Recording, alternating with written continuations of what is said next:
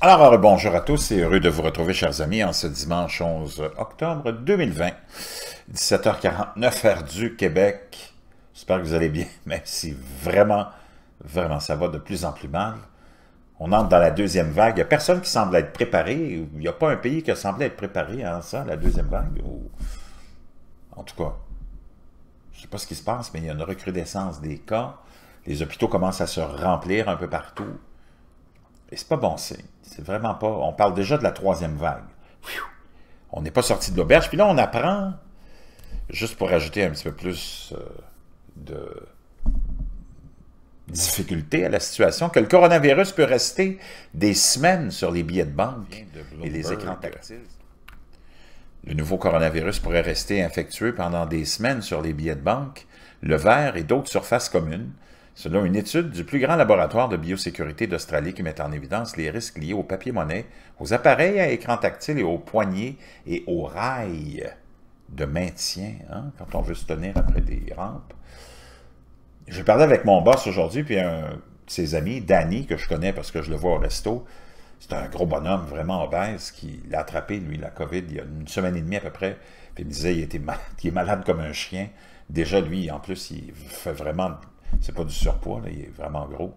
On lui souhaite bonne chance. Mais il n'est pas en forme, il n'est vraiment pas bien. Les scientifiques du Centre australien de préparation aux maladies ont montré que le fameux SRAS-CoV-2 est extrêmement robuste, survivant pendant 28 jours sur des surfaces lisses telles que le verre, trouvé sur les écrans des téléphones portables et les billets en plastique à température ambiante, soit 20 degrés Celsius. Cela se compare à 17 jours de survie pour le virus de la grippe. Wow, vraiment? C'est vraiment pas rassurant. Un client détient un billet de 10, de 10 livres sur des fruits et légumes sur un marché de Popard à Londres. Ici, on voit ça.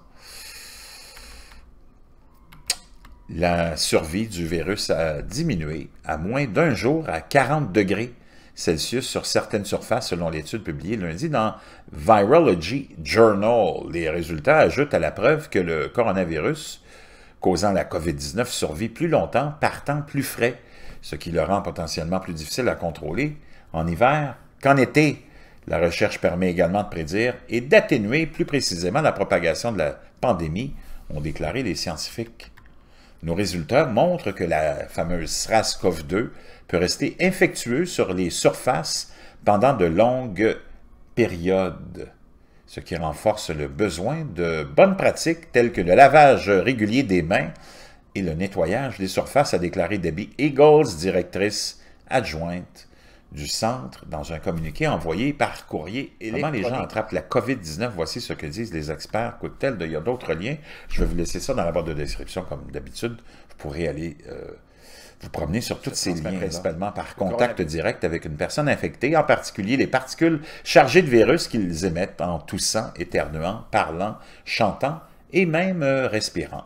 Le fameux SRAS-CoV-2 peut également contaminer les surfaces lorsque ces particules se déposent, créant ce que l'on appelle des fomites qui, selon les chercheurs, peuvent également contribuer de manière importante à la transmission. Pas prouvé, la propagation du SRAS-CoV-2 par des vecteurs est plausible, ont déclaré des chercheurs de l'Université d'État du Kansas, du Kansas dans une étude publiée avant la publication et l'examen par les pairs en août. Ils ont analysé la stabilité du coronavirus sur une douzaine de surfaces et ont constaté qu'il survivait 5 à 7 fois plus longtemps dans des conditions printemps-automne plus fraîches et moins humides par rapport à la température et l'humidité moyenne en été. Cette découverte est de mauvais augure pour le fameux contrôle de la COVID-19 pendant l'hiver dans l'hémisphère nord, a déclaré le virologue Jorgen Rich qui a dirigé. Nous n'avions pas très bien le contrôler pendant l'été. Imaginez-vous, nous serons dans une grande surprise, a déclaré Rich dans une interview. Le scientifique du laboratoire du gouvernement australien a découvert que le coronavirus avait tendance à survivre plus longtemps sur des surfaces non poreuses ou lisses par rapport aux surfaces, aux surfaces complexes poreuses telles que le coton. La recherche a reçu un financement du département australien de la Défense. Il s'agissait de sécher le coronavirus dans un mucus artificiel sur différentes surfaces à des conditions similaires à celles rapportées dans les échantillons de patients infectés, puis de réisoler le virus sur un mois. L'étude a également été menée dans l'obscurité pour éliminer l'effet de la lumière ultraviolette, car la recherche a démontré que la lumière directe du soleil peut rapidement inactiver le virus.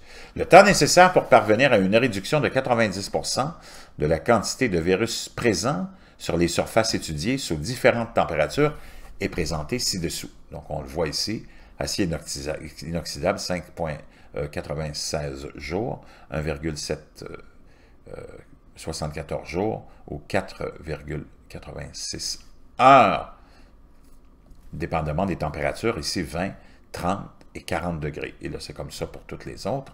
Je vous laisserai, comme je vous l'ai dit, le lien dans la boîte de description. Bien que, bien que le rôle précis de la transmission de surface, le degré de contact de surface et la quantité de virus nécessaire pour l'infection reste à déterminer, il est essentiel de déterminer pendant combien de temps ce virus reste viable sur les surfaces pour développer des stratégies d'atténuation des risques dans les zones de contact élevé, a dit Eagles.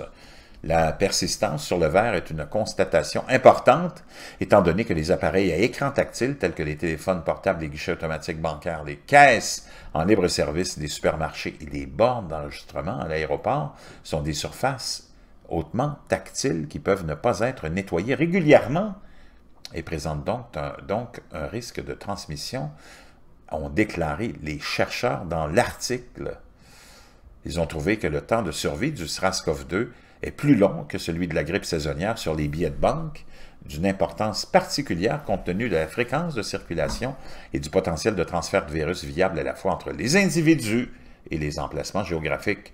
Avant que le SRAS-CoV-2 ne soit déclaré pandémie, la Chine avait commencé à décontaminer son papier-monnaie suggérant que des préoccupations concernant la transmission via des billets en papier existaient à l'époque, ont déclaré les chercheurs, notant que les États-Unis et la Corée du Sud avaient également mis en quarantaine les billets de banque de la pandémie.